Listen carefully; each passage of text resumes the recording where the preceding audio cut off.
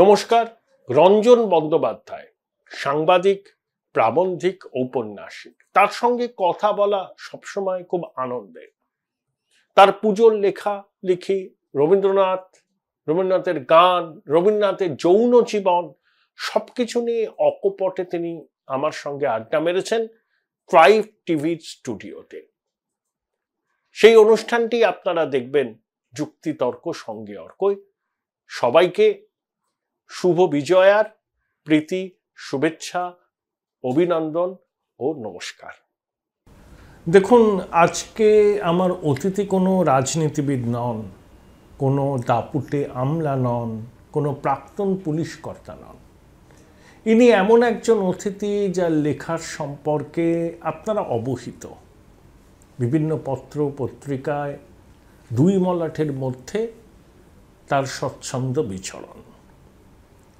পেশায় অবশ্যই তিনি সাংবাদিক, কিন্তু শুধু সাংবাদিক পরিচয় তার জন্য যথেষ্ট নয়। তিনি একদলে প্রাবন্ধিক, লেখক, ঔপন্যাসিক এবং একসময় ইংরেজি সাহিত্যের অধ্যাপকও ছিলেন। সেটা আটের দশকের একদম গোড়ায়, তারপর চার চারটে দশক পেরিয়ে গেছে, তিনি সাংবাদিকতার জগতে রয়েছেন। আসুন আলাপ করিয়ে দিই, আজ আমার অতিথি রঞ্জন বন্দ্যোপাধ্যায়ের সঙ্গে। রঞ্জনদা আপনার সঙ্গে কথা বলা সবসময়তে ভীষণ রকম আকর্ষণীয়, মজাদার, আনন্দের। কিন্তু এর মধ্যেও একটা বিষাদের সুর বাজছে তো বঙ্গজীবনে সর্বত্র। এই যে অভাগিনী জীবন দিয়ে আমাদের অনেক সত্যের সামনে দাঁড় করালো, যে সত্যগুলো হয়তো আমরা এতদিন জানতাম, মনে মনে উপলব্ধি করতাম, কিন্তু আজকে পুরো ব্যবস্থাটা বেআব্রু হয়ে গেছে। কীভাবে দেখেন আর্চিকরের ওই অভাগিনীর হত্যাকাণ্ড তারপর যে সামাজিক একটা মন্থন চলছে, মেয়েদের রাত দখলের ডাক এবং কোনো রকম পতাকা ছাড়া সেভাবে কোনো রাজনৈতিক নেতৃত্বের ডাক ছাড়া যেভাবে মানুষ স্বতঃস্ফূর্তভাবে রাত দখলে নেমেছে, আপনি কীভাবে দেখেন? আপনার অভিজ্ঞতা কি বলে? দেখো আমার প্রথমত আমার এই অভিজ্ঞতা এতদিন বেঁচে বেঁচে আছি তো এই রকম একটা ঘটনা কিন্তু খুব বেশি দেখিনি। এটা কিন্তু ঠিক। এই যে মানে মৃত্যু অনেক রকম দেখেছি এবং সব সময় মৃত্যু, যে কোনো মৃত্যু, যে কোনো বিচ্ছেদ, দুঃখের। কিন্তু এখানে যেভাবে একটি মানুষকে নির্মমভাবে হত্যা করা হয়েছে সেটা একটা একটা প্রশ্নের সামনে দাঁড় করিয়ে দিয়েছে যে আমরা কি এখনও সভ্য হতে পেরেছি? সভ্য মানুষ হতে পেরেছি? আমাদের ঈর্ষা হতে পারে, হিংসা হতে পারে, রাগ হতে পারে, ক্রোধ হতে পারে, আক্রোশ হতে পারে, ভয়ঙ্কর প্রতিশোধের ইচ্ছা জাগতে পারে।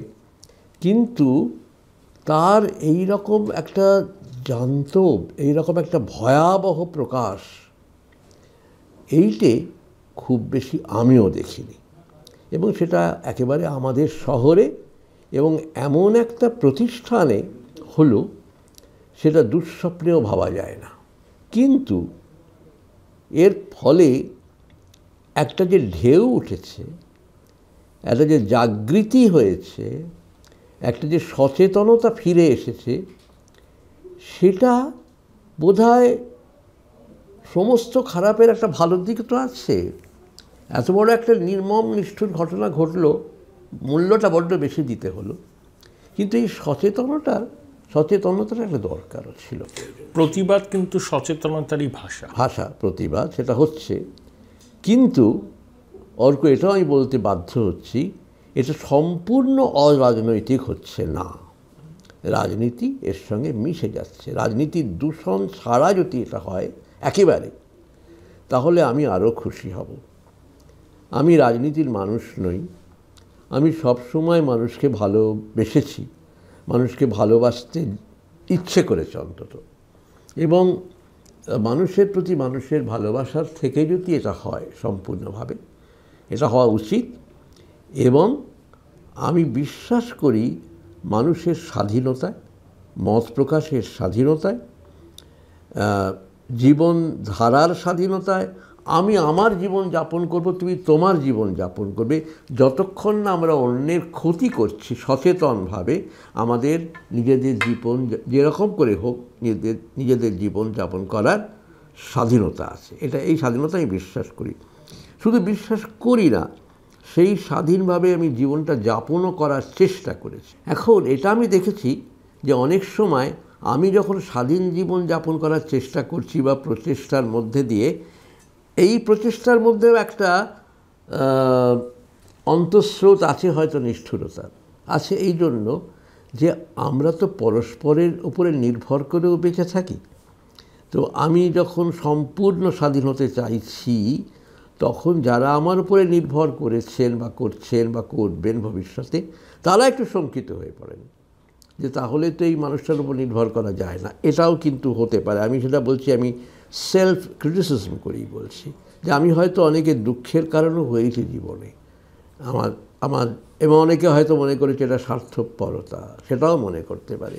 কিন্তু তবু আমি বিশ্বাস করি প্রত্যেকের নিজস্ব স্বাধীনতায় মত প্রকাশের স্বাধীনতায় জীবনযাপনের স্বাধীনতায় এবং লেখাপড়ার স্বাধীনতায় আমি কি পড়ব না পড়ব কি বই পড়ব কি খাব কি পড়ব এই যে আমার একটা যাপনের যে পরিবহ বা পরিসর তার মধ্যে আমি সম্পূর্ণ স্বাধীনতায় বিশ্বাসী। লেখাপড়া পোশাক খাওয়া দাওয়া এবং অবশ্যই যৌনতার স্বাধীনতা। হ্যাঁ যৌনতার স্বাধীনতা বলতে আমি কি বুঝি সেটা? ভালোবাসার স্বাধীনতা প্রথমে আসে। এবং যৌনতার স্বাধীনতা মানে আমি এটা বলছি না যে আমি যা করব, ইচ্ছে করে করে বেড়াবো আর আমার স্ত্রী করবে না। বেশিরভাগই আমরা একটা পুরুষ শাসনী, শাসিত সমাজে থাকি এবং পুরুষের এই শাসন আমার ভালো লাগে না। পুরুষের এই দমন আমার ভালো লাগে না। এবং সমস্ত সময় আমি সারাক্ষণ সমাজের সর্বক্ষেত্রে সংসারের সর্বক্ষেত্রে আমি পুরুষের দমন দেখেছি। সব সময় যে একেবারে সারফেস করছে সেটা তা নয়। অন্তঃসল অন্তর এক আছেই। আমি পুরুষ আমি যা বলব তাই হবে শেষ পর্যন্ত। এই ব্যাপারটা আমি দেখেছি কর্মক্ষেত্রে দেখেছি এবং এইখান থেকে যাবতীয় জটিলতাও তৈরি হয়। এক্সপ্লয়টেশন অফ উইমেন সেটা আমি দেখেছি। At the same time I seen also exploitation of man exploitation of men যে হয় না তা নয়, সংসারে সংসারে হয়, অন্যভাবে হয় এবং তার মধ্যে যে নিচতা থাকে না, সেটা তুমি কল্পনাও করতে পারবে না। বিশেষ করে উইমেন এক্সপ্লয়টিং উইমেন সেটাও ভয়ঙ্কর। গ্রামাঞ্চলে সেটা আরও বেশি। আমার শাশুড়ি আমায় কষ্ট দিয়েছে, অতএব আমি তোমাকে কষ্ট দেব। এ তো ঘরে ঘরে আছে, আমি দেখেছি। এগুলো ঠিকই, কিন্তু যেটা, যে ঘটনাটা সম্প্রতি ঘটেছে সেই ঘটনাটার ফলে যা ঘটছে, এই দুটোরই, দুটো সম্পর্কেই আমাদের একটু সতর্ক থাকতে হবে। এই জন্য যে এরকম ঘটনা যেন আর না ঘটে অ্যাট এনি কস্ট এইটা, এই ব্যবস্থাটা করতেই হবে আমাদের সমাজ, যেরম করে হোক। এবং কেন ঘটছে তার রুটে যেতে হবে, এটা ঘটছে বেসিক্যালি আমাদের সমাজের মধ্যে ভয়ঙ্কর বেশি এক্সপ্লয়টেশন এবং দমন দমন আছে। আপনি আজকে আমরা সংবাদ মাধ্যম, সমাজ মাধ্যম টেলিভিশন চ্যানেলের দৌলতে অনেক ঘটনার কথা জানতে পারি। আপনি তো আপনার লেখালেখির স্বার্থে পুরনো ইতিহাসও চর্চা করেন। ধরুন একশো বছর আগে বা স্বাধীনতার ঠিক আগে। এই ধরনের নারীদের শোষণ, বঞ্চনা সেটা কতটা ছিল এবং কতটা আমরা জানতে পারতাম? নারীদের শোষণ বঞ্চনা সে তো। আবহমানকাল ধরেই ছিল। কিন্তু কতটা জানতে পারতাম আমরা? আজকে যেমন জানতে। পারছি। খুব কম। এটা হচ্ছে এটা হচ্ছে আমাদের দেশে এখন মিডিয়া মাধ্যম মানে খবরের কাগজ বলো টেলিভিশন বলো সমস্ত সময় আমরা কিছু এমন কিছু ঘটছে আমরা জানছি না তা হচ্ছে না। কিন্তু জানার আবার দুটো দিক আছে। অর্থাৎ ফ্যাক্টস যা সেটা তো জানছি, কিন্তু তার ব্যাখ্যা হচ্ছে, তার অতি ব্যাখ্যা হচ্ছে, তার বিকৃত ব্যাখ্যা হচ্ছে, তার রাজনীতি রং চড়ানো ব্যাখ্যা হচ্ছে, এগুলোও তো আসছে। তাহলে আমরা তো শত, অতটা শিক্ষিত হতে পারিনি।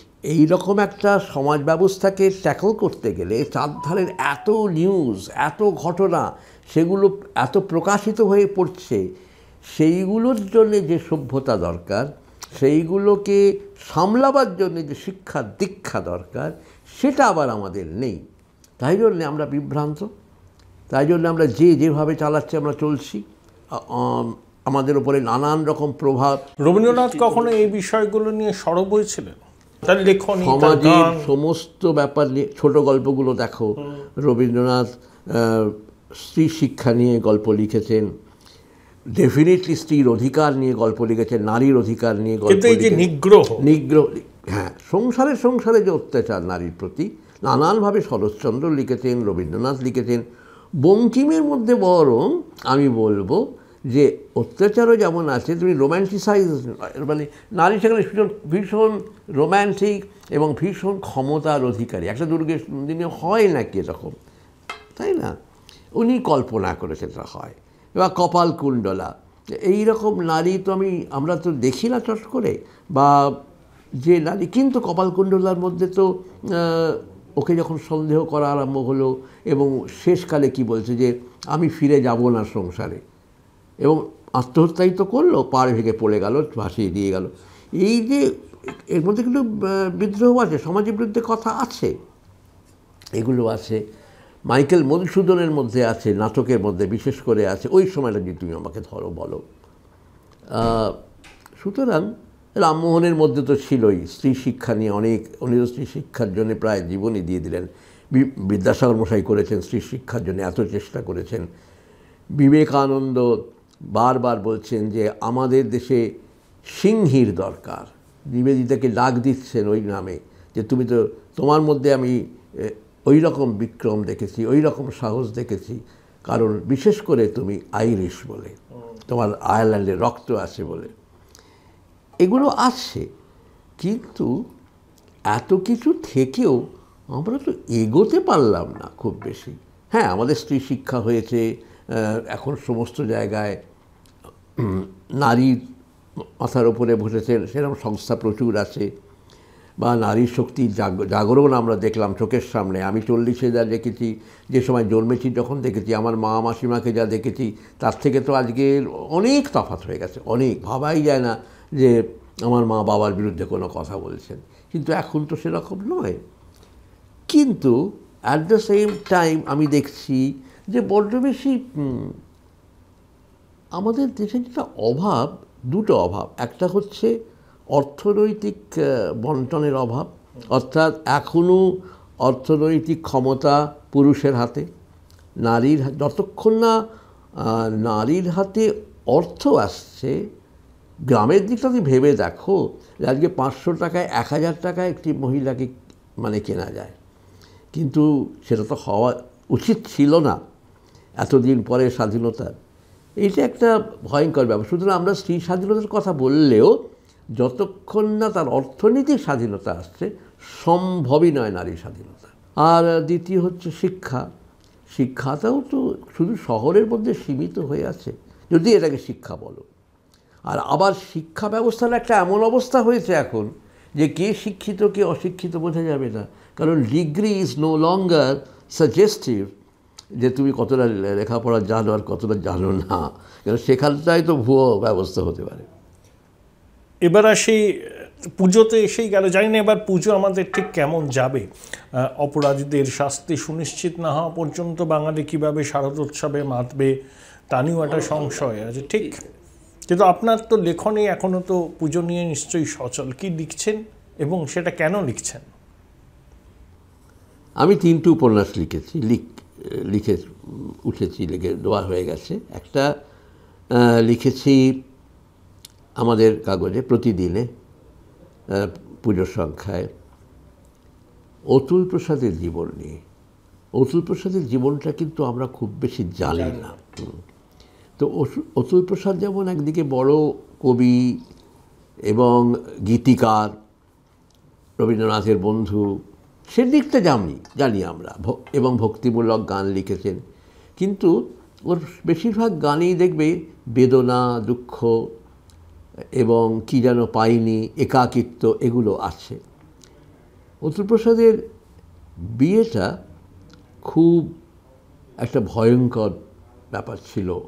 উনি ওর মায়ের নিষেধ না মেনে, সবাইকার নিষেধের বিরুদ্ধে দাঁড়িয়ে ওর মামাতো বোনকে বিয়ে করেছিলেন। এবং এই বিয়েটা আমাদের দেশে হয় না। তখনও হতো না, এখনও বোধহয় হয় না।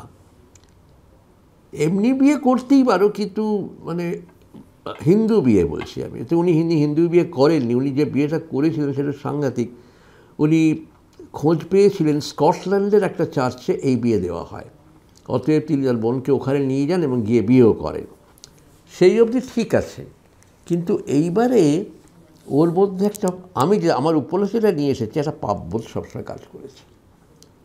এবং ওর স্ত্রীর মধ্যেও করেছে, ওদের সন্তানও হয়েছে। কিন্তু সমস্ত সামাজিক সম্পর্কগুলো পাল্টে গেল। মামা তোমার শ্বশুর হয়ে গেলেন হ্যাঁ? তোমার মা, তার পিসিমা, সে হয়ে গেল শাশুড়ি। এই যে সামাজিক একটা লণ্ডভণ্ড হয়ে যাওয়া, এটা মানুষ নিতে পারে না সবসময়। এক, দ্বিতীয় কথা সন্তানের সঙ্গে সম্পর্কটা ঠিক হলো না প্রসাদের এই যে একটা জটিলতা তৈরি হলো এই জটিলতা নিয়ে একটা উপন্যাস সাহস উপন্যাস। অতুল প্রসাদকে বাঁচলেন কেন? না অতুল প্রসাদকে আমি রিসার্চ করছিলাম অনেক ধরে তবে আমার অফিস বলল অতুল প্রসাদ নিয়ে একটা লেখা লিখেছিলাম অফিসের জন্যই। প্রবন্ধ লিখেছিলাম। ওই থেকে বাড়িয়ে একটা উপন্যাস যদি করা ওরাই বলেছিল আমাকে। তাই জন্যে আমি উপন্যাসটা আর দুটো? একটা লিখেছি আমি বিনোদিনী নিয়ে। সেটা লিখেছি আজকালে, আজকালের প্রিয় সংখ্যায়। বিনোদিনীর তো একটা ইচ্ছে ছিল যে এই স্টার থিয়েটারের নাম বিনোদিনী থিয়েটার হোক এবং গিরিশবাবু ওকে আমার ধারণা যে যাই বলুক, ঠকিয়েছিলেন। গিরিশবাবু ক্ষমতা চাইতেন, ক্ষমতা পেয়েছিলেন স্টার থিয়েটারেরও ক্ষমতা পেয়েছিলেন। কিন্তু ওই যে থিয়েটারের যে মহল সেই সময়, তুমি জানো যে উনি একশো পঁয়তাল্লিশ নম্বর কর্নার স্ট্রিটে জন্মেছিলেন বিনোদিনী এবং সেটা কিন্তু আহ, বেশ্যালয় ছিল ওই বাড়িটাই। এবং বিনোদিনীর যে পরিবেশ থেকে উঠে আসা পিতৃ পরিচয় ছিল না শুধু মাতৃ পরিচয় নির্ভর। সেই সময় ওই রকম অবস্থা থেকে উঠে এসে লেখাপড়া কেউ শিখতে পারতো না স্কুলে যেতে পারতো না। সামাজিক ব্যবস্থা এমনই ছিল এখনও তাই আছে। কিন্তু বিনোদিনী লেখাপড়া শিখলেন সেটাও আবার গিরিশবাবু শিখিয়েছিলেন। থিয়েটারে এসে শিখলেন। আবার ওই আদি ব্যাপারটাও চলতে লাগল এবং তারপরে ওকে সবাই এক্সপ্লয়েট করতে লাগল। সবাই বলল, তোমার নামে থিয়েটার করে দেবো। এবং থিয়েটারটা শেষ পর্যন্ত হলো, কিন্তু গিরিশবাবুই বাধা দিলেন পিছন থেকে। বাধা দিয়ে বললেন যে, তুই তো বালবনিতা তোর নামে থিয়েটার হলে কোনোটা এ হবে না। তোর নামে থিয়েটার হলে চলবে না, আসবে না লোকে। অতএব হলো না বি থিয়েটার হলো। তো আমার উপন্যাস শেষ হচ্ছে একটা অদ্ভুতভাবে, যে বিনোদিনী স্বপ্ন দেখছে সেই সময়, যে আমি তো একদিন সেই সময় থাকব না ভারতবর্ষের দিন স্বাধীন হবে। হয়তো ভারতবর্ষে আমাদের এই পশ্চিমবঙ্গ একটা রাজত্ব হবে, রাজ্য হবে আলাদা। এবং তারও একজন হেড হবেন, তিনি যদি কখনো মহিলা হন, আমার কথা বুঝবেন। হ্যাঁ তো তার কাছে আমি একটা একটা অনুরোধ রেখে যাচ্ছি যে যেন আমার নামে একটা থিয়েটার হয়। এইখানে শেষ হচ্ছে মানে আমি নাম দিয়েছি বিনোদিনী মানে স্টার বিনোদিনী থিয়েটার, উপন্যাসটার নাম। আর একটা আর একটা ভাই লিখেছি কৃত্তিবাসে। এইখানে রবীন্দ্রনাথ এবং রবীন্দ্রনাথের নাম করিনি কিন্তু কোথাও বৌদি এবং দেওর। এবং এই কাদম্বরী। আমি জানি না কাদম্বরীরও নাম নেই কোথাও। বৌঠান এবং তার দেওর কিন্তু খুব প্রতিভাবান মানুষ দেওর এবং এদের একটা প্রেম। এই সেই প্রেমটা কত অবধি গড়ায়? এবং সে ন্যাচুরালি বিচ্ছেদের শেষ হয়, মৃত্যুতেই শেষ হয় যেমনভাবে হতে পারে। কিন্তু এদের নিয়ে একটা প্রবন্ধ উপন্যাস লিখেছি। উপন্যাসের খানিকটা প্রবন্ধ, মনে হয় পড়তে পড়তে আবার খানিকটা উপন্যাস, যেটাকে এসেইস্টিক নভেল বলে বা নভেলা বলে। এরকম একটা, খুব বড় নয়। এই আর কি। তা এই নতুন বৌঠান রবীন্দ্রনাথের সম্পর্কের বাইরে আপনারা বেরোতে পারছেন না কেন? এটা ঘুরে প্রতি বছরই এইরকম একটা লেখা হয় নানা আমি না আপনাকে বলছি না বাঙালির এটা খুব প্রিয় বিষয় নতুন খুব বেশি রবীন্দ্রনাথের খুব বেশি প্রিয় বিষয় ছিল না এটাকে আমি প্রিয় বিষয় করি প্রথম। এটা তো অচ্ছুত বিষয় ছিল। এটা তো নিষিদ্ধ গন্ধ ছিল। শঙ্খঘোষ তো পাপ মনে করতেন এটাকে। শঙ্খঘোষ তো লিখেছে শঙ্খঘোষ শঙ্খঘোষের রবীন্দ্রনাথ কখনো মানে ঘনিষ্ঠ হন না ওকাম্পর এটা পুজোর সম্পর্ক। আবার শঙ্খ ঘোষের কিন্তু সেই সময় সেই সময় সুধীন্দ্রনাথ দত্ত বললেন রবীন্দ্রনাথ সম্পর্কে he was desperately in love with her বলেছেন তো? তো ওই কথাটা আমার স্ট্রাইক করেছিল। তো আমি কাদম্বরী দেবী যখন লিখলাম, তখন নিন্দিতও হলাম, আবার নন্দিতও হলাম একই সঙ্গে। ওরকম বই বিক্রি খুব কম হয়েছে, একটা বই। তারপরে আমি আর লিখিনি ওদের সম্পর্কে। তারপরে এই এতদিন পরে বিদেশ বলল, ওই কৃত্তিবাসের এডিটার যে এরম একটা উপন্যাস যদি লেখা যায়, আমি যে উপন্যাস লিখব, কিন্তু ওদের নাম দেবো না। তো আমি, ওদের নাম কারোর দিই কিন্তু বোঝা যায় ন্যাচারালি বোঝা যাবে।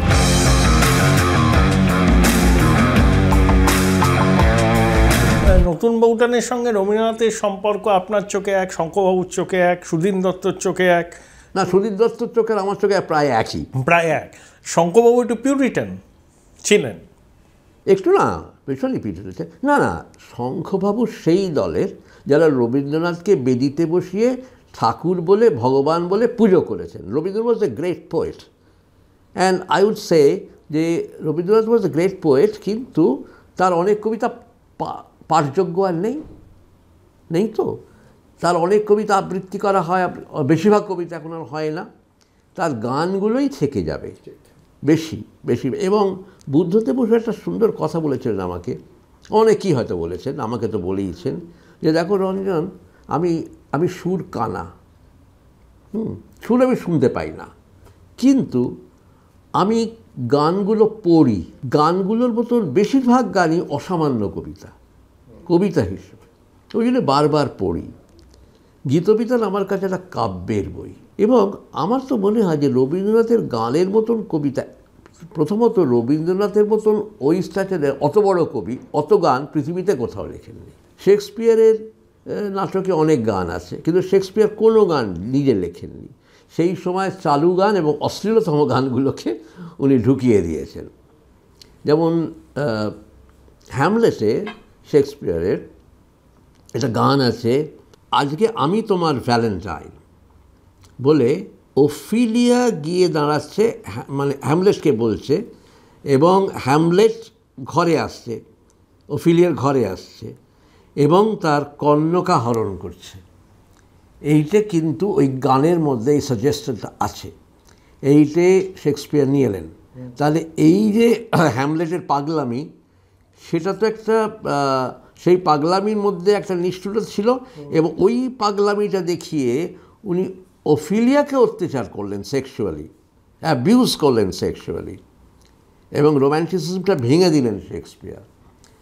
এইগুলো কি শঙ্কর বলবেন? বলবেন না কোনো দিন বা শঙ্কর ঘোষ কি কোনো দিন বলবেন যেটা আমি পড়েছি নিজে যে শেক্সপিয়ার ডায়াল অফ সিফিলিস এবং শেক্সপিয়ারে যে সিভিলিস হয়েছিল তার মুখ চাক মুখ যাচ্ছে, তার একটা ডিসক্রিপশন আছে টাইমন অফ অ্যাথেন্সে সেটা সংঘোষ বলবেন না। তেমনি রবীন্দ্রনাথের সম্পর্কে বা এদের সবাইকারই একরকম ধারণা। রবীন্দ্রনাথ বড় কবি ছিলেন, তারপরে তার একই সঙ্গে তাকে মানে সমালোচনাও করা যায়, কবি হিসেবেও করা যায়। কারণ তিনি যে সময় কবিতা লিখেছিলেন, সেই সময় থেকে কবিতা এখন আর সেখানে দাঁড়িয়ে নেই, অনেক এগিয়ে গেছে। পিছিয়ে গেছে আমি বলব না। এবং তুমি যদি রবীন্দ্রনাথের উপন্যাসের সঙ্গে আজকে তুমি যদি মার্কেজের তুল- তুলনা করো, তাহলে তো আমার রবীন্দ্রনাথের শেষের কবি তুমি পড়তেই পারবে না। এই কী রোম্যান্টিসিজম? যেখানে পাঁচ বছর ধরে বৃষ্টি হলে মেয়েদের গায়ে কেঁচো জন্মায় তোমার মানুষের জন্ম দেওয়ার ক্ষমতা কমে যায় সেক্সুয়ালিটি জিরো পয়েন্টে পৌঁছে যায়, পাঁচ বছরের বেশি তো হয়েছিল, সেটা ম্যাজিক রিয়ালিটি কিন্তু ওই রিয়েলিটিকে ওই উপন্যাস পড়লে আর রবীন্দ্রনাথ পড়া যায় না। এটা আমি বলব। এখন গিয়ে গোড়া পড়ে কেউ সোনায় নষ্ট করবে, শুধু ব্রাহ্ম আর এই হিন্দুদের মধ্যে কচকচানি ডেটেড হয়ে গেছে। তো রবীন্দ্রনাথের অনেকটাই ডেটেড আমাদের মেনে নিতে হবে। আবার শেক্সপিয়ার ডেটেড হচ্ছে না, সেটাও আমাদের মেনে নিতে হবে। কারণ উনি এমন কতগুলো জিনিস অ্যাড্রেস করছেন, যেমন যেমন প্রাইমাল জেলাসি এটাকে অ্যাড্রেস করছেন, আদিম জেলাসি যেটা যেটা ওথেলো আর ডেসডেমোনা ওথেলোর জেলাসি যখন সে, যে মানে এটা এটা রবীন্দ্রনাথের পক্ষে লেখা সম্ভবই নয়। ওথেলো বলছেন ডেসডেমোনাকে এই যে তুই শুয়ে আছিস বিছানায় দাগটা দেখেছিস? তো এই দাগ তো ইনসেস্টুয়াস শিট ইনসেস্টুয়াস শিট কথাটা ব্যবহার করেছেন। হ্যাঁ এমন পাপ যে তারাদেরও বলা যায় না তারারা ওই পাপের কথা শুনলে অভিশপ্ত হয়ে যাবে তারা তাদের পবিত্রতা হারাবে। হ্যাঁ it is the cause it is the cause my soul let me not name it to you chaste stars it is the cause yet I shall not shed her blood, nor scar the white of skin of in snow and smooth as monumental alabaster. She must die, else should betray more men. Put out the light, and then put out the light, thou cunningest pattern of excelling nature. এই গালাগালি রবীন্দ্রনাথের পক্ষে আজও দেওয়া সম্ভব নয় কারণ তিনি ব্রাহ্মবাড়ির ছেলে এই তুলনা করতে হবে আমরা যখন বলি রবীন্দ্রনাথ বিশ্বকবি কী অর্থে বিশ্বকবি আমরা বলছি বলে বিশ্বকবি আমরা তো এখনও ভালোভাবে অনুবাদই করিনি তাকে এখন তো বিশ্ব তাকে ভুলেই যাচ্ছে। শেক্সপিয়ারকে তো ভুলেছি তাহলে সে তার পেছনে কি শুধু শেক্সপিয়ারের জিনিয়াস আছে? না, সাম্রাজ্যবাদ আছে ইংরেজের। তো আমরা কি কোনো ইংরেজের ছেলেকে কোনো দিন বলতে পারব, তুই বাংলা, ইংরেজি বাংলা না শিখলে খেতে পাবি না? বড় চাকরি পাবি না? এইটা যেদিন বলতে পারব, বাংলাকে যেদিন সারা বিশ্বের ভাষা হিসেবে প্রতিষ্ঠা করতে পারব, কোনোদিন পারব না। সেই দিন রবীন্দ্রনাথ বিশ্বকবি হবে, তার আগে নয়। যে পয়েন্টটা আপনি তুললেন, এটা একদমই মানে অযৌক্তিক তো নয় ভীষণ রকম ভাবার বিষয় আছে। এবং রবীন্দ্র চর্চা তো কমেও যাচ্ছে। কমে যাচ্ছে তো। এবং এটার সম্পর্কে খুব ভালো লিখেছেন অমর্ত্য সেন। অমর্ত্য সেন লিখেছেন যে রবীন্দ্রনাথকে বিদেশ ভুলে যাচ্ছে কেউ বলে রাখেন প্রায় কারণ তার ভালো ইংরেজি অনুবাদ হয়নি। যদি ইংরেজ বাংলা শিখে রবীন্দ্রনাথের অনুবাদ করতে পারে তবেই রবীন্দ্রনাথ বেঁচে থাকবেন। ইংরেজকে করতে হবে। কিছু অনুবাদ করেছিলেন নিবেদিতা, কিন্তু সে দু চারটে গল্প অনুবাদ করলে তো হবে না। রবীন্দ্রনাথের বেশি আই থিঙ্ক রবীন্দ্রনাথের বোধহয় ফরাসি অনুবাদ বেটার হয়েছে। আমাদের জিত করেছিলেন গীতাঞ্জলির অনুবাদ, খুব ভালো হয়েছিল। ওই অনুবাদটা পড়েই ওক্যাম্পোর প্রেমে পড়েন। উনিশশো চোদ্দ সালে পড়েছিলেন, এক বছরের মধ্যে এটা বেরিয়ে গিয়েছিল। এবং উনিশশো চব্বিশ সালে দেখা হয়েছিল রবীন্দ্রনাথের সঙ্গে ওকাম্পোর, দশ বছর ওয়েস্ট করেছিলেন। চব্বিশ সালে মানে এক বছর একশো বছর হলো ওদের সম্পর্ক। এটা কি আপনার কোনো লেখার বিষয় নাকি? না এটা কোনো লেখার বিষয় এখনও হয়ে ওঠেনি জানি না। না ওটা কি সত্যি মানে প্লেটনিক ছিল নাকি এমনি সাধারণ মানুষের কোনো প্রেম প্লেটনিক হয় না। If I love a woman that is not platonic হয়ে গেল। আমি তো তাকে তার সৌন্দর্য তাকে তো আমি- আমি তো একটা অশরীরী আত্মাকে ভালোবাসছি না। তাহলে তার আপস অ্যান্ড ডাউনস শরীরে দেখছি তো যেখানে যা রবীন্দ্রনাথ ষোলো বছর বয়সে লিখেছেন যেখানে যা উঁচু নিচু প্রকৃতির বিধানে। এখন সেটা তো দেখছি তাকে। তবে তো ভালোবাসছি তার মনটাকেও যেমন ভালোবাসছি তার শরীরটাকেও ভালোবাসছি। মানে আমি যেহেতু আমি একেবারেই হেটেরোসেক্সুয়াল এবং আমি মহিলাকেই ভালোবাসতে পারব ওইভাবে সেক্সুয়ালি আমি কোনো পুরুষকে সেক্সুয়ালি ভালোবাসতে পারব না। যদি না তার মধ্যে এমন নারীত্ব থাকে যে আমাকে হয়তো রবীন্দ্রনাথকে আমি পারি, কারণ রবীন্দ্রনাথের মধ্যে প্রচুর নারী সত্তা ছিল। রবীন্দ্রনাথ যদি আমার কাছে এসে বসেন হয়তো আমি I might fall in love with him even sexually কিন্তু আমি যদি কোনো মহিলাকে ভালোবাসি, আমি স্ট্রেট বলছি, আমি সেক্স বাদ দিয়ে মানে সেক্সুয়ালিটি বাদ দিয়ে পারব না। ডেফিনেটলি হবে। কিন্তু পুরুষকেও তো ভালোবাসি। হ্যাঁ সেটা তো আমার মনে হয় যে কোনো এই রকম ভালোবাসা, নারী পুরুষের ভালোবাসা তার মধ্যে সেক্স থাকেই। তো সেই অর্থে তো প্লেটনিক বলে কিছু প্লেটনিক ননসেন্স একটা, ওটা ওটা পপিকক। তাকে বাদ দিয়ে বল, সত্যি সত্যি শরীর ছিল কিনা ওয়েল ওক্যাম্পোর ডায়েরিতে তো আছে, যে ছিল। একটা, অন্তত একদিন হয়েছিল। যে একদিন মানে রবীন্দ্রনাথ ছুঁয়েছিলেন।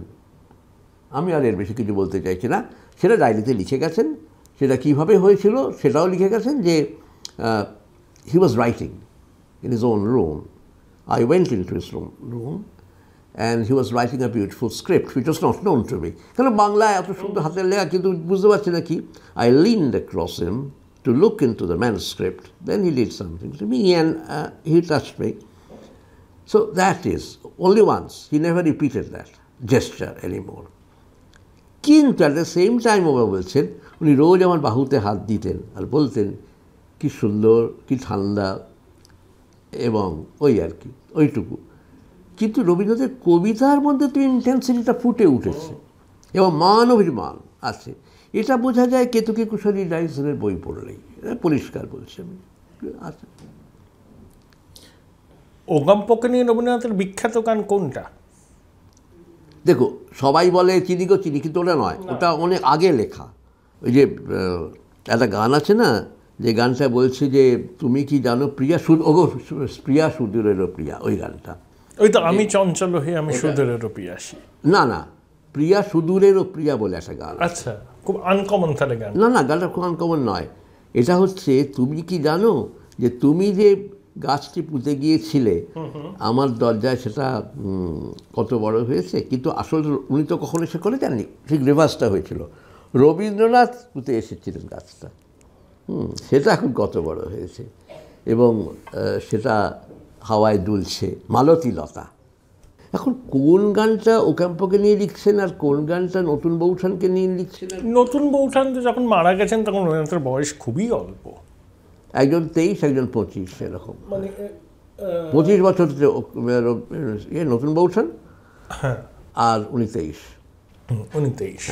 এবং তো আছেও আমার বাইশটা তেইশ বছরের শোক বলে একটা লেখা আছে। শেষের দিকে লিপিকাতে আছে লেখাটা। তারপরে তো রবীন্দ্রনাথ আরও প্রায় আটান্ন বছর বেঁচে ছিলেন হ্যাঁ তার অনেক নারীও এসেছেন রবীন্দ্রনাথ জীবনে। শেষ নারীকে রবীন্দ্রনাথের জীবনে? পারুল বোধ হয় পারুল বলে একটি বিধবা নারী। বরানগরে থাকতেন। তাকে নিয়ে আমার লেখা আছে পারুলের ভালোবাসা বলে একটা লেখা আছে ছোট প্রবন্ধ আছে। আর তাছাড়া হেমন্ত কুমার তাছাড়া খারাপ জীবন থাকলে রানু। এবং আমার তো মনে হয় ইন্টেন্সিটি সব থেকে বেশি কোনটাই ছিল? আমার নতুন দেখো রানু ডেফিনেটলি রানু। নতুন নয়। ও নতুন ধরো তাহলে নতুন বৌঠান। সব থেকে বেশি ইন্টেন্সিটি নতুন হি নেভার কখনো ভুলে যাননি। ওই যে বলেছে না, তুমি কোন কাননের ফুল, তুমি কোন গগনের তারা, তোমায় কোথায় দেখেছি, কোন সপনের পাড়া ওই চোখে তারা ভুলতে পারেননি কখনো। এবং যত ছবি আছে রবীন্দ্রনাথের রবীন্দ্রনাথ যত ছবি এঁকেছেন, নারীর ছবি, বেশিরভাগ একই রকম চোখ। তোকে জিজ্ঞেস করা হয়েছিল যে আপনার সব নারীর চোখ একরকম কেন? তখন পরিষ্কার বলেছিলেন, আমি নতুন বৌথানের চোখ ভুলতে পারিনি। রবীন্দ্রনাথ উক্তি একদম স্ট্রেট বাঙালি নতুন বৌঠান মেনে নিয়েছে। ভিক্টোরিয়া ওকাম্পোর সঙ্গে সম্পর্কটাকে অন্যভাবে দেখে হ্যাঁ? বাকি সম্পর্কগুলো বাঙালি স্বীকার করতে চায় না। যেমন বাঙালি বিশ্বাস করে নেতাজি প্রেম করতে পারে না। নেতাজির প্রেমপত্র কোনো কাগজে প্রকাশিত হলে ফরওয়ার্ড দপ্তর ভাঙচুর করে। এই যে মানসিকতা। এখন বোধ হয় ওটাও বাঙালি মেনে নিয়েছে কারণ কৃষ্ণা বসু নিজে লিখে গেছেন রবীন্দ্রনাথের প্রেম নিয়ে। তুমি জানো সেটা। বইটা পাওয়াও যায়। সুতরাং দেখো এখন এই চর্চাগুলো ক্রমশ কমে যাচ্ছে। বাঙালি একটু বড় হচ্ছে। একেবারে বাঙালি যে বড় হচ্ছে না তা নয়। অর্থোডক্স এখন। ভয়ঙ্কর। এইসব কথাগুলো বললাম তো আমি জানি না কি হবে।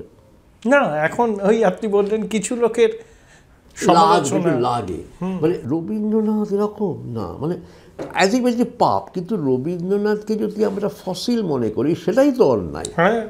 তাই না?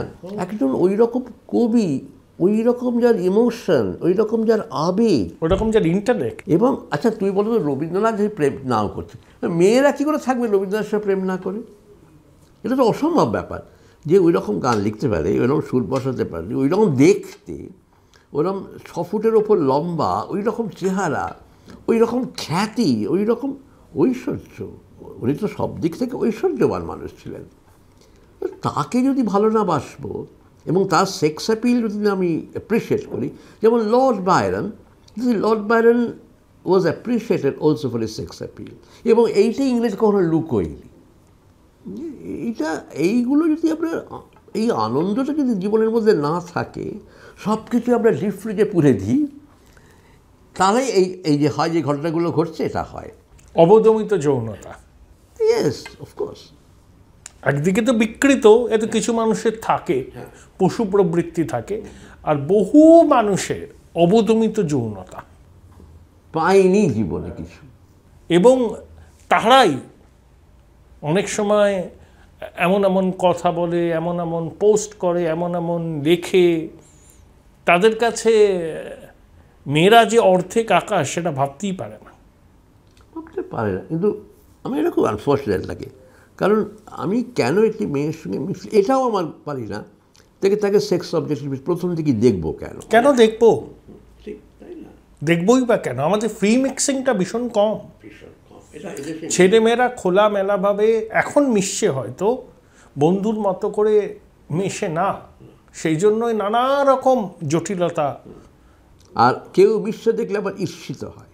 কারণ আমি পাচ্ছি না সে পাচ্ছে।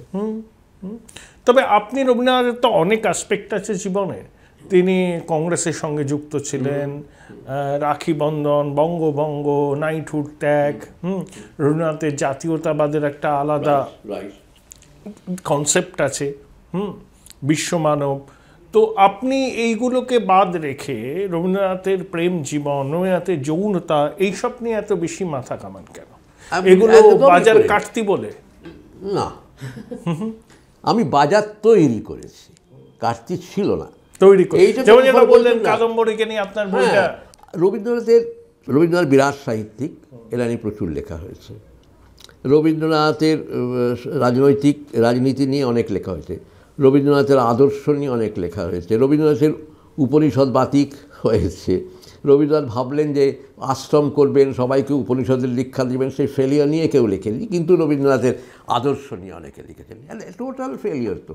তুই এক দেখ একদিকে দেখো বিবেকানন্দ সংঘ কি গড়ে তুলেছেন আর রবীন্দ্রনাথ দেখো পারলেন না। দুটোতে কোনো তুলনা হয় না। একটা আন্তর্জাতিক হয়ে গেছে একদম টোটালি আসলে দুজনের অর্গানাইজেশনের ক্ষমতাই অন্যরকম। একজন কবি রবীন্দ্রনাথ বেসিক্যালি এ কবি এবং অনেক বড় কবি। আমি রবীন্দ্রনাথকে ছোট করছি না কোনোভাবে। কিন্তু রবীন্দ্রনাথের মধ্যে যে প্যাশনটা ছিল, রবীন্দ্রনাথের মধ্যে যে রোম্যান্টিসিজম ছিল, সেইটা আমরা দেখতে শিখিনি। সেইটার থেকে অন্যদিকে নিয়ে গেছি। ও, ওটা সাবলিমেশন ওটা ধর্ম, ওটা উপনিষদের প্রকাশ, ওটা আত্মার পুজো, এসব কিচ্ছু নয়। ওকে কেন আমরা বেদির ওপর বসাবো? আমি সেইটাকে ভাঙার চেষ্টা করেছি। Well I possibly I was an iconoclast iconoclastic লেখা আমি লিখেছি আইকন ভেঙেছি এটা আমি স্বীকার করছি। কিন্তু তা যাতে আমরা তার প্রেমের কবি উনি প্রেমিক বেসিক্যালি প্রেমিক লোক। এবং প্রেমের কবিতা ছাড়া উনি খুব ভালো খুব বড় ভালো প্রেমের কবিতা লিখেছেন। প্রেমের গান তো অসামান্য লিখেছেন। পৃথিবীতে অমন প্রেমের গান কেউ লেখেনি। আর যেগুলো কালোত্তীর্ণ। এবং শোনো এপিস্টলারি যেগুলো মানে চিঠি। রবীন্দ্রনাথের চিঠি অত সুন্দর কেউ লেখেননি। বিশেষ করে ছেঁড়া চিঠি। এবার বলো তো, কেন আমরা ওগুলোকে ছেঁড়া চিঠি করে রাখলাম? আমরা কেন সব চিঠিটা প্রকাশ করলাম না? আজও হয়নি প্রকাশ। ছিন্ন পত্রাবলী নিয়েই আমাদের, আমি এইটা নিয়ে বলেছিলাম বিশ্বভারতীকে ওরাকে আমাকে পড়তে দেয়নি এবং আর কোনোদিন কাউকেই পড়তে দেবে না, কারণ বাকি চিঠিগুলো ধ্বংস করে দেওয়া হয়েছে। সেটা হচ্ছে যে উনি যখন ওর ভাইঝিকে চিঠিগুলো লিখলেন প্রায় দুশো পঞ্চান্নটা চিঠি বোধহয় লিখেছিলেন যেগুলো পদ্মার তীর থেকে পদ্মার তিরিশ থেকে চল্লিশ বছর বয়স অব্দি উনি পদ্মায় ভেসেছেন এবং চিঠি লিখেছেন। শিলাইদহে যখন শিলাইদহ থেকে প্রতিষ্ঠার পর্যন্ত। সরলাকে? না না সরলাকে নয়। উনি লিখেছিলেন লিখে তোমার সত্যেন ঠাকুরের মেয়েকে হ্যাঁ। ওর নামটা কি। না না এখন ইন্দিরা। ইন্দিরা। ইন্দিরা ঠাকুরকে আমি মাঝে মাঝে নামটা একটু প্রবলেম হয়। ইন্দিরাকে লিখেছিলেন। এবং ইন্দিরাকে যে চিঠিগুলো লিখেছিলেন এক জায়গায় বলছেন তুই আমার মনের কথা বুঝতে পারিস তাই জন্যেই তোকে এত চিঠি লিখলাম। যাকে চিঠি লিখি তার একটা চিঠি লিখিয়ে নেওয়ার ক্ষমতা থাকা দরকার। বলে স্ত্রীকে ঠুকেছেন। স্ত্রীকে ওই সময়ের মধ্যে বারোখানে চিঠি লিখেছিলেন। একটা ভাইজিকে লিখছেন দুশো পঞ্চান্নটা একই পিরিয়ড অফ টাইমে স্ত্রীকে লিখছেন বারোটা চিঠি। ইন্দিরার সঙ্গে ওনার সম্পর্কটা কি ঠিক কী ছিল? ভালোবাসার সম্পর্ক। প্রেমের সম্পর্ক বলছিলাম ভীষণ ভালোবাসার সম্পর্ক। ইন্দিরা ইন্দিরাকে উনি প্রাণের দোষর মনে করছেন ওর চিন্তার দোষর মনে করছেন ওর ভাবনার দোষর মনে করছেন। আত্মার আত্মীয়। আত্মার আত্মীয় তো বটেই। আমি বলার আগে তুই বুঝে নিস মানে ওই যে লোনলিনেসটা এটা যেটা মৃণালিনী দেবীর কাছ থেকে যে সাহচর্যটা পান সম্ভবই নয়। এটা কারোর কাছ থেকে উনি পাচ্ছেন। ওর কোনো পুরুষ ইন্টালেকচুয়াল বন্ধুর কাছ থেকেও পাচ্ছেন। এত চিঠি কাউকে লেখেননি। উনি ক্রমাগত চিঠি লিখেছেন ইন্দিরাকে। এবং চিঠিগুলো একটা খানিকটা প্রবন্ধের মতন। একটা আর ছাপার অক্ষরে সাড়ে তিন থেকে চার পাতা চিঠি। তার শেষে পুনশ্চ দিয়েছেন। দিয়ে বলছেন কাল আষাঢ়ের প্রথম দিবস ছিল। কালকে বৃষ্টি হয়ে গেছে। এইটুকু খবর আবার দিচ্ছেন। এর মধ্যে বোঝা যায় যে কতটা ভালোবাসলে এই পুনশ্চটা লেখা যায়, একটা চার পাতা, সাড়ে চার পাতা চিঠি লেখার পরেতে। কিন্তু সেই চিঠিও তো সেরা চিঠি। তো আমরা কেন এবং চিঠিটা কীভাবে ছেঁড়া হয়েছিল? চিঠিটা ছিঁড়েছিলেন, এডিট করেছিলেন ইন্দিরা নিজে। এডিট করার পরে নিজের হাতে লিখেছিলেন সেগুলো। দিয়ে রবীন্দ্রনাথকে দিয়ে সই করিয়ে দিয়েছিলেন যে এইটা আমি ছাপতে দিচ্ছি এর বাইরে কিছু ছাপা হবে না কারণ তোমার আমার সম্পর্ক মানুষে ভুল বুঝতে পারে। এই ইন্দিরার সঙ্গে রবীন্দ্রনাথের এই যে চিঠিপত্রের আদান প্রদান তা ঠাকুরবাড়ির অন্য লোকেরা এটাকে কীভাবে দেখতো? বাইরের কথা ছেড়ে দিন। এইবারে হলো সত্যেন ঠাকুর কীভাবে দেখতেন? সত্যেন্দ্রনাথ ঠাকুর বলছেন রবি বড্ড একলা। তুই একটু দেখিস রবিকে ও সঙ্গ চায়। এটা সত্যেন ঠাকুরের কথা। তো সত্যেন ঠাকুর সত্যেন ঠাকুর নিজের স্ত্রীর সঙ্গে জ্যোতিরিন্দ্রনাথ সম্পর্ক কীভাবে দেখেছিলেন? যখন জ্যোতিরিন্দ্রনাথ বাড়ি খুঁজতে বেরোলেন রাঁচিতে গেলেন এবং ওই মোরাদি মোরাবাদী পাহাড়টাকে পছন্দ করে কিনে ফেললেন। এরা পাহাড় কিনে ফেললেন। কিনে ফেললে বললেন যে এর ওপর আমি থাকব। তখন মেজবাবু ঠাকুর বলে তাহলে আমি নিচের বাড়ি করব। কই সেখানে তো আমি সত্যেন ঠাকুরের কোনো ভূমিকাই দেখি না। তবে রবীন্দ্রনাথের জ্যোতি দাদা রবীন্দ্রনাথকে খুব স্নেহ করতো অসম্ভব স্নেহ করতে জ্যোতি দাদা ছাড়া রবীন্দ্রনাথ রবীন্দ্রনাথ হতেন কিনা আমার সন্দেহ। কারণ পিয়ানো বাজা বাজানো থেকে আরম্ভ করে স্বরলিপি করা থেকে এভরিথিং প্রথম বয়সের ট্রেনিংটা জ্যোতির অর্থাৎ রোপণ করেছিলেন বীজগুলো। জ্যোতি অসম্ভব প্রতিভাবান। আর উ- উন্মেষটা হয়েছিল হচ্ছে নতুন বৌঠানের হাত ধরে নাকি? হ্যাঁ নতুন প্রেরণা। প্রেরণা। একেবারেই নতুন বসে দেখো কিন্তু অদ্ভুত না? তারপরে ওদের এবং জ্যোতি ঠাকুর কোনোদিনই পছন্দ করেননি তার স্ত্রীকে। কোনোদিনই যোগ্য বলেই মনে করেননি তার স্ত্রীকে। সেই অভাববোধ থেকে রবীন্দ্রনাথের সঙ্গে ঘনিষ্ঠতা? হ্যাঁ কারণ রবীন্দ্রনাথের সঙ্গে বয়সের তফাৎ মাত্র দুই। বন্ধুর মতো? হ্যাঁ আর ওখানে বোধ হয় বারো না পনেরো বছর তো বিরাট তফাৎ একটা। এবং জ্যোতিরিন্দ্রনাথের একটা অন্য লেখা লেভেল লেখা লেখাপড়া যখন এই একবারে সম্পূর্ণ নিরক্ষর রবীন্দ্রনাথ তোকে লেখাপড়া শেখালেন এবং সেটা কে করালেন দেবেন ঠাকুর? বলে রবি ওকে পড়াশোনা শেখাবে। বলে রবি তোর থেকে ছোটো বলে ও ঠিক পারবে। আর জ্যোতি বলছিল, ঠিক মনের মতন করেই গড়ে নিতে পারবে। জ্যো- জ্যোতিরিন্দ্রনাথ তখন তো থিয়েটারের জগতে ঢুকে গেছেন এটা আপনার ভাবতে হবে তোমাকে। তখন গ্ল্যামারাস, ভীষণ, এবং পরপর নাটক লিখছেন, গোলাপ সুন্দরীর সঙ্গে ভাব হয়েছে, সরোজিনী নাটকের লাইক, এইগুলো আমি একটু হিন্টস দিয়ে যাচ্ছি। সরোজিনী নায়ক হলেন, নায়িকা হলেন গোলাপ সুন্দরী। যখন জাহাজে চড়ে নেমন্তন্ন হলো, যেদিন উনি এসে পৌঁছলেন না সেদিন তো জাহাজের নাম সরোজিনী সেই তাহলে? সুনীল দাস যে ওই তিন খণ্ডে আছে না প্রথম আলো সেই সময় আর পূর্ব পশ্চিম। এই প্রথম আলোতে কিছুটা এরকম আছে। আছে। আছে প্রথম আলোতে আছে এবং কাদম্বরী দেবীর মৃত্যু দৃশ্যটায়। সেইখানে আমার আবার প্রশ্ন আছে যে কাদম্বরী দেব নাচতে নাচতে সোনার গয়না কাঁচের গয়না ভেঙে যাচ্ছে কাদম্বরী কাঁচের গয়না বলবেন না ইত্যাদি ইত্যাদি। হ্যাঁ সুনীলদা খুব কাছাকাছি গিয়েছিলেন। কিন্তু সুনীলদা রানু রানুকে নিয়ে বইটা ভানু। হ্যাঁ রানু ভানু আর আমারও রানুকে নিয়ে বই আছে। আমি সুনীলদাকে বলেছিলাম যে আপনি ওই চিঠিটা কেন লিখলেন না? ওই চিঠিটা কেন বাদ দিয়ে গেলেন? কোনটা রঞ্জন না যেখানে রানু বলছেন আঠেরো বছরের রানু তখন আর বারো বছরের রানু নয়। যেখানে তার বিয়ে ঠিক হয়ে গেছে এবং যে চিঠির উত্তর রবীন্দ্রনাথ দিলেন না বললেন তুমি আমাকে রাস্তা থেকে কুড়িয়ে নিয়েছিলে। যখন পছন্দ হলো না, রাস্তাতেই ফেলে দিয়ে গেলে, কিন্তু তোম- আমার বিয়ের চেষ্টা পর্যন্ত করেছ, কিন্তু তোমার সঙ্গে তোমার বিয়ে হয়ে গেছে। তুমি নিজে বলেছ তোমার সঙ্গে আমার বিয়ে হয়ে গেছে। আছে কিন্তু, ছাপার অক্ষরে আছে। আঠেরো নম্বর ভলিউমে রবীন্দ্র, রবীন্দ্রনাথের চিঠিপত্র আঠেরো নম্বর ভলিউমে এই চিঠিগুলো আছে। তখন সুনীল দাস অদ্ভুত উত্তর দিয়েছেন। বললেন, আমাকে তো রবীন্দ্রনাথকে বাঁচাতে হবে। তখন আমি বলেছিলাম যে, আপনাকে রবীন্দ্রনাথকে বাঁচাবার দায়িত্ব কে নিতে বলেছে? খানিক্ষণ থেমে বললেন না না বাদল বলছিল সুনীল যদি ওরমভাবে রবীন্দ্রনাথের বিরুদ্ধে কিছু বলো তাহলে তোমার সেল কমে যাবে। আপনি আর নতুন কোনো অ্যাসপেক্ট নিয়ে রবীন্দ্রনাথের গবেষণামূলক লেখার ইচ্ছা আছে? না আমার যেগুলো এখনও আপনার মনে হয় ছোঁয়াই হয়নি।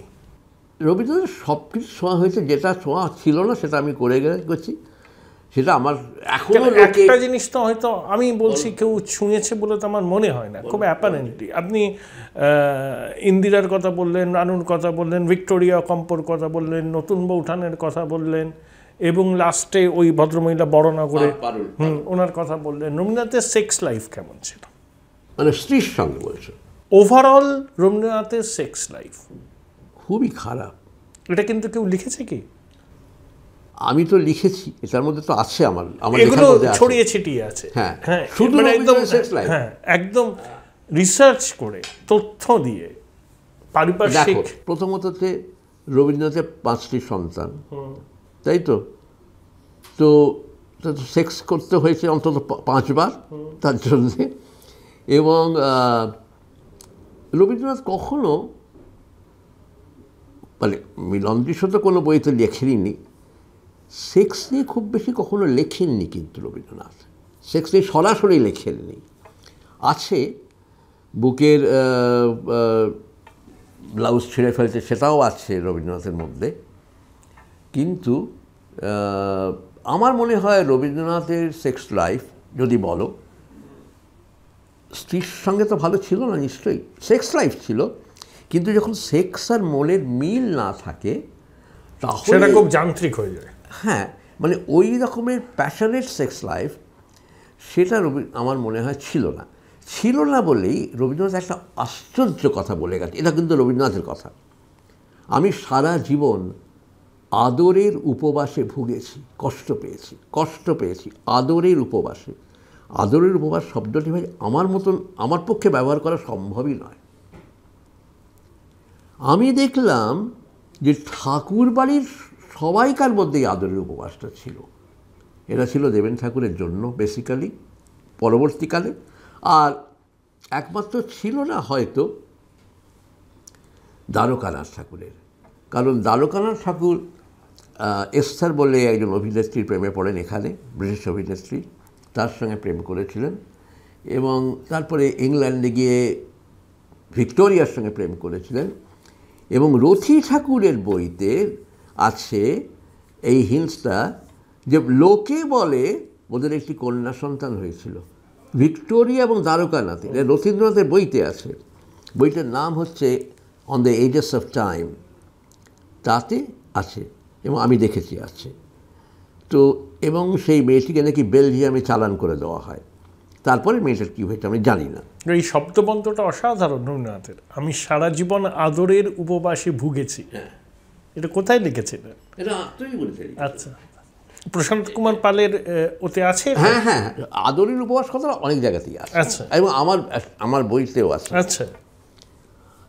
রবীন্দ্রনাথ এবারে রবীন্দ্রনাথকে যখন জিজ্ঞেস করা হলো মৈত্রেয়ী দেবী জিজ্ঞেস করেছিলেন যে আপনার বিয়ের গল্পটা বলুন। তখন বললেন আমার বিয়ের কোনো গল্প নেই। রবীন্দ্রনাথ একটি লেখা লেখেন তার তেইশ চব্বিশ বছর বয়সে বিলেত থেকে এসেই দোসর বলে একটা প্রবন্ধ লিখেছিলেন। ওই প্রবন্ধে উনি সেক্সুয়ালিটি নিয়ে লিখেছেন যে, আমাদের দেশের বিয়েটা তাস খেলার মতো। তাস তো তুমি কি হাতে উঠবে জানো না? অর্থাৎ প্রেম না করে এই যে বিয়েটা দিয়ে দেওয়া হচ্ছে, তো এইবার একটা লটারি টিকিট কাটছো, লটারি খেলছো। এইটা কিন্তু উনি লিখেছিলেন, এই, এইভাবে দোসর পাওয়া যায় না। এটা আন্দাজ একটা। এইতে দেবেন ঠাকুরের একেবারেই পছন্দ হয়নি এবং বলেন বিয়ে দিয়ে দাও। জোর করে ওই আর ভয়ঙ্কর একটা বিয়ে দেওয়া হলো। রবীন্দ্রনাথ মেনে নিতে বাধ্য হলেন, কারণ রবীন্দ্রনাথ তার হাত খরচের টাকাও তখন নির্ভর করতে হচ্ছে। জ্যোতি ঠাকুরকেও তাই। এবার জ্যোতি ঠাকুর যখন মানে স্ত্রী যখন আত্মহত্যা করলেন, তখন দেবেন্দ্রনাথ বলছেন, জ্যোতিকে বলে দিও, আমি প্রমাণ পেয়েছি, ও চরিত্র ভ্রষ্ট হয়েছে। সুতরাং আমি যে বাড়তি টাকা তোকে দিয়ে ওটা বন্ধ করে দিলাম। এটাও জ্যোতি। দেখো রুল করছেন দেখো, টাকা। আমি টাকা দেওয়া বন্ধ করলাম। একমাত্র যিনি টাকার জন্যে দেবেন ঠাকুরের উপর নির্ভর করেননি, তিনি হচ্ছেন সত্যেন্দ্রনাথ ঠাকুর। তাই জন্য সেই কারণে তিনি পেরেছেন পাঁচটিটা বাড়িতে চলে যেতে, তিনি পেরেছেন আলাদা হতে স্ত্রীকে নিয়ে, তিনি পেরেছেন স্ত্রীকে নিয়ে ইংল্যান্ডে চলে যেতে, ইংল্যান্ডে রেখে চলে আসতে পেরেছেন এবং প্রসন্ন কুমার সেই ঠাকুরবাড়ির নেমন্ত্রণ ঠাকুরবাড়ির নেমন্ত্রণ না, সে ও গভর্নরের বাড়িতে নেমন্ত্রণ না সেখানে সত্যেন ঠাকুর না গিয়ে পাঠিয়েছিলেন মেকে স্ত্রীকে একা এবং সেখানে প্রসন্ন কুমার ঠাকুর ছিলেন। সত্যেনের বউ না পার্টি থেকে বেরিয়ে গেলেন। ছি ছি ছি ছি। এই পোশাক পরে পার্টিতে এসেছে সত্যেনের বউ শাড়ি পরে যাননি এবং একা এসেছে আমি পার্টিতে থাকব না। কি অনাচার? আমার শেষ প্রশ্ন। তাহলে এটা রবীন্দ্রনাথের একটা আসপেক্ট। আপনি ছুঁয়েছেন অনেক জায়গায়। কিন্তু সেক্স লাইফ নিয়ে লিখিনি। এটা সুধীর- সুধীর কর্কর আছে না? সুধীর কর্কর? হ্যাঁ? উনি রবীন্দ্রনাথের যৌবন নিয়ে একটা বই লিখেছেন। যৌবন? রবীন্দ্রনাথ যৌবন। ইউথ বলে লিখেছেন। কিন্তু সেইখানে রবীন্দ্রনাথের সেক্সুয়াল ডিপ্রেশন রবীন্দ্রনাথের সাপ্রেস সেক্সুয়ালিটি এগুলো সব লিখেছেন। উনি কিন্তু অনেকটা গেছেন আমি বলব। সাইকোলজিস্ট তো উনি পেরেওছেন যেতে। ভালো বই খুব ভালো বই। তাহলে এরকম একটা আর মানে আমি এটা জাস্ট বললাম আলোচনায়। আর আগামী দিনে নতুন কোনো পরিকল্পনা যেগুলো বাঙালি এখনও সেভাবে অন্তর্দৃষ্টি ফেলে দেখেনি দেখো আমি কিন্তু রামানুজনকে এটা কেউ বলেন না, আমি কিন্তু রামানুজনকে নিয়ে বই লিখেছি। আমি জানি হ্যাঁ। আপনি অরবিন্দকে নিয়ে অরবিন্দকে নিয়ে লিখলাম এবং নতুন একটু ইয়ে এগুলো আমি করেছি টুকটাক করে। এখন আর দেখি কি হবে এইবারে আমি একটা ভাবছি যদি একটা আন্দোলন করা যায় সবাই মিলে যা বিনোদিনীর নামে একটা থিয়েটার হোক। আমার খুব ইচ্ছে যেটা হোক মানে দি- দিদি যদি করে দেন খুবই ভালো। আর না হলে এই যে যারা থিয়েটার করছে ওরা কেন করছেন না? তাহলে কি এখনও সেই প্রেজুডিসটা আছে? ওর কোনো নিউজ বেরোয়নি বিনোদিনীর জানো তো? মানে মৃত্যুর নিউজে কোনো কাগজে ছাপা হয়নি। আর এত কষ্টের জীবন না মানে সত্যি বলছি শ্রীরামকৃষ্ণ একমাত্র যার কাছ থেকে উনি ভালোবাসা পেয়েছিলেন সামাজিক স্বীকৃতি পেয়েছিলেন। এক ধরনের স্বীকৃতি তো পেয়েছিলেন এবং বলেছিলেন ওর মাথা মাথায় হাত রেখে মা তোর চৈতন্য হোক এবং ওকে মন্ত্র পর্যন্ত দিয়েছিলেন। বীজ মন্ত্র। হ্যাঁ বীরবন্ধী যে ওই ওই যে গুরু গুরু জয় গুরু জয়। ওটা নিয়ে উনি নাচতে নাচতে ঢুকেছিলেন এবং বারবার থেকে দেখতে আসছেন। ওর ইয়ে থিয়েটার। অনেক সময় ধন্যবাদ যে ভালো ভালো সব প্রশ্ন করলে কিন্তু আমি জানি না এগুলো মানে কেন? আর মানুষ সব শুনবে। তাদের মতো করে বিচার করবে।